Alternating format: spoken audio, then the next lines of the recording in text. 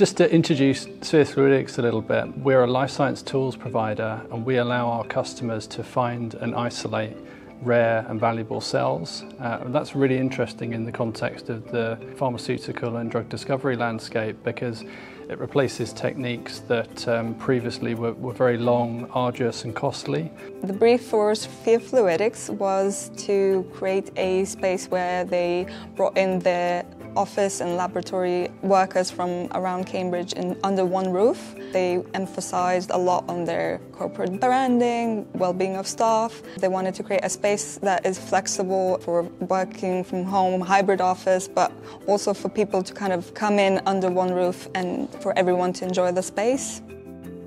One of the things I really enjoyed about working on this project was the early engagement with the client and the stakeholders from Sphere Fluidics. We worked really hard at the pre-construction phase to ensure that the design was fully coordinated and went to site with no problems. Would I recommend Coel as a partner in the future? Uh, I absolutely would. We worked with Coel for two phases of this project. Ultimately, why did we decide to partner with Coel?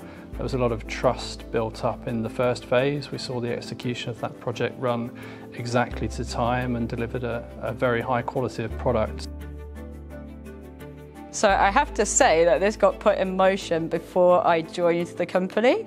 And a lot about the brief and the vision for that space is why I joined the company. The actual ambition of trying to take what our outside look was then, which was very much product focused, clinical, blue, traditional life science into something with a personality that really reflected what we were like internally was really important. And that is part of what I was trying to achieve once I came on board. So in our facility strategy over the last few years, we've really been looking for a building that allowed us to consolidate uh, our disparate sites. For a long time, we were looking for a building to bring our whole team together in one place, and we very much saw that being in, in Cambridge.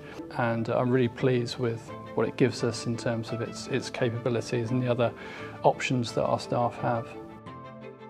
When designing and creating a lab and office space for a client, laboratories do tend to take priority and you need to make sure the footprint and the square meterage is right for each lab and the activities within it. It's really important to get all the information from the users and make sure the equipment fit, they have enough workspace and circulation space and all the M&E requirements to be taken note of.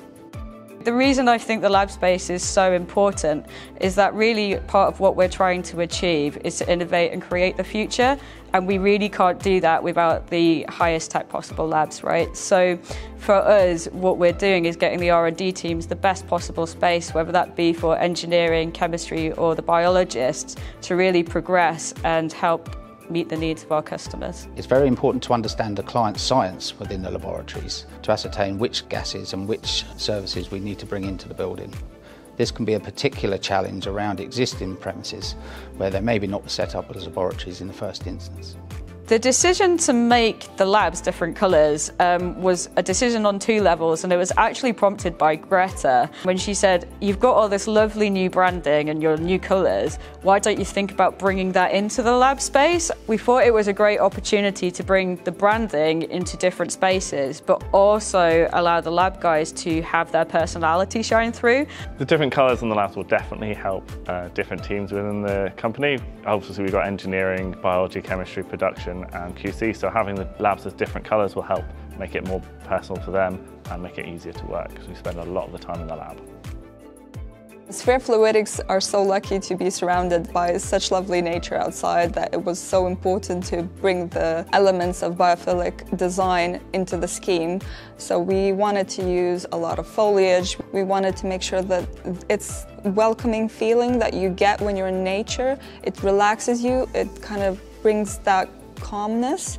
For me, I have to say, I'm a hybrid worker. It's actually made such a huge difference to have the hot desking space where I can come in, as well as having lockers, so I do have some form of permanent home for my belongings. My overall opinion of the whole kind of phase one and phase two being done is it's nice because it kind of brings us all together. So not only is the building just one now, we're all working together, we can talk together and not have to do it through teams as much, so we can go into a booth or go into the kitchen and have a more relaxed setting. Your greatest fear on day one is the, the building won't work for some reason. The greatest feedback that I think we had on that day, and this will sound really mundane, but someone senior said to me, it's great, everything just works. And I think the staff internally have just really appreciated the high quality design and just those options that the building gives us in terms of collaboration spaces, future flexible spaces. So we've designed in kind of lab expansion areas. We've put in uh, elements of the building that will allow us to use it very differently in the future. And again, we could just see on the plans and the look and feel documents the design that you know, was proposed and we really shared that ambition for what the building could become.